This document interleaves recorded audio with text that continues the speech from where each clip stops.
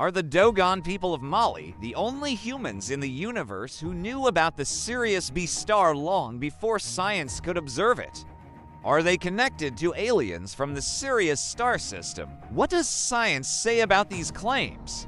And how do we know that what the Dogons say is true? Welcome back. This video explores the extraordinary knowledge held by the Dogon people of Mali concerning the nature and behavior of the Sirius star system, which includes the bright star Sirius and its lesser known white dwarf companion, Sirius B. This knowledge has sparked debate about whether the Dogon received this information from extraterrestrial sources or if their traditions can help us understand the origins of life on Earth.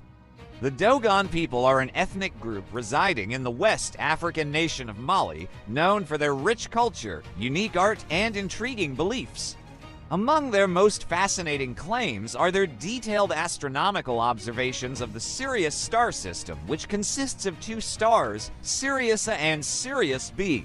Surprisingly, the Dogon have knowledge of both stars, but more significantly, they have detailed knowledge of Sirius B, a small, dense white dwarf star that orbits Sirius A in fact. The Dogon's description of Sirius B aligns remarkably well with modern scientific understanding of this star. They accurately describe its size, mass, orbital period, and other characteristics. The Dogon believe that this knowledge was imparted to them by extraterrestrial beings known as the Nommo, who originated from the Sirius star system. According to their traditions, the Nommo were amphibious humanoids who arrived on Earth in ancient times and shared their astronomical secrets with the Dogon.